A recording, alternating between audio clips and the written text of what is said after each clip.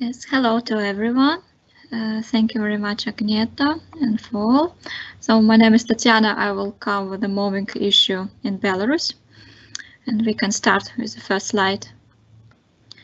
So again, as in Baltic states, there are no special laws in Belarus with regard to mobbing or on psychological abuse at work and so on. Uh, there are no special institutions to protect against mobbing. And also we are not aware about any court cases uh, with regard to the mobbing. But still it does not mean that this problem is not relevant for Belarus. Uh, certain mobbing cases reach mass media, however they uh, may not uh, be named as uh, high profile cases, but still. And several institutions conduct research in this regard and uh, collect statistic information for example, according to the result of survey conducted in uh, 2015, uh, among the listeners of the Belarusian State Economic University representing various Belarusian organizations, 6% of respondents faced uh, mobbing. And according to the result of other survey conducted uh, in one Belarusian company in 2018, the following signs of uh, mobbing were named by the respondents. Assignment of tasks are not a part of direct responsibilities, 43%, shouts and insults, 41%, circulation of information uh, discrediting the honor and dignity of a person, 36%, discussion of the employee's personal life, uh, 33%, ridicule, 23%, ignorance of the employees, 18%, giving the meaningless and abusive assignments, 22%. Uh, but still, uh, even uh, taking into account that currently there is no uh, direct liability for the employer in case of mobbing in the company, it is a problem of the employer. It's a responsibility and a mistake in organizing the work. Uh, among the negative consequences in case of mobbing, uh, we can name uh, direct losses for the company, which are associated with staff turnover, reduced labor productivity, reputational risks, as well as claims from the part of the employees. So uh, we cannot exclude the risk that uh, in the foreseeable future, the claims from the part of the employees will be the real court practice in Belarus. So it is necessary to understand what lies in the responsibility of the employer and uh, what remedies are available for the employees with this regard. So let's start with the first and second at the next slide. Observance of the employees' rights. According to the Constitution and Labor Code, uh, the employee has the right to the work as a most uh, worthy way of self-affirmation and respect for personal dignity. Uh, to date, labor law doesn't contain any special remedy for protection of these rights. Uh, they may be protected by the employees quite efficiently in the framework of criminal and civil law. So the person that is directly guilty of mobbing actions uh, will be liable. But still, um, uh, it is necessary to always uh, understand that these rights are guaranteed for the employees. Uh, the second aspect is ensuring the labor safety. Uh, the employer uh, shall ensure safe working conditions and normal working conditions uh, maybe also understand uh, in, in, the framework of psychological aspect. It is a work environment free from psychological abuse and pressure.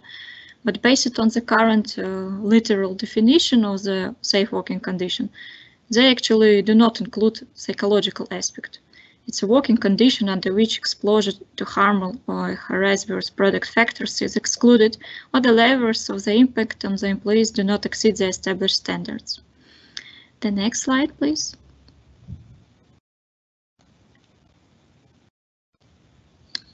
Uh, compliance with prohibition of discrimination. So the employee potentially may claim that a special negative attitude against uh, him or her uh, on the part of the management in comparison with other employees. Uh, it may be called as a vertical type of mobbing, also known as bossing, constitute discrimination. And persons who believe that they have been discriminated are entitled to apply to the court with respective claim to eliminate discrimination. Satisfaction of this claim may also entail uh, administrative liability for the management uh, of the company, also uh, who um, is liable for this discrimination. And uh, another aspect is related to avoiding of forced dismissals. So potentially the dismissed employee in future may try to prove in the court that his or her dismissal was forced. But it should be noted that in Belarus in practice it is really hard to prove that dismissal was forced and uh, to challenge in this regard the dismissal on this ground. But still, uh, it is recommended always to ensure that uh, intention of the employee to uh, terminate the employment correspond to uh, his her will. The second slide is uh, related to the fulfillment of the employer's obligation.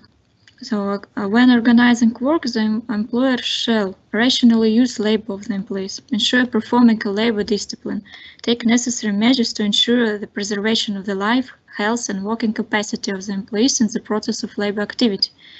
So in case of mobbing, the employee may claim that uh, these uh, obligations uh, are not fulfilled by the employer. So the employer violates uh, labor law and the terms of the employment agreement.